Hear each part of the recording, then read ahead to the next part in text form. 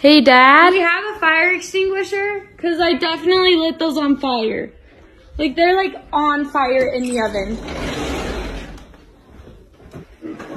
Do we have a fire extinguisher? Yeah, but we don't need to use it. Dad, you're gonna burn yourself. Holy shiz. Happy Thanksgiving.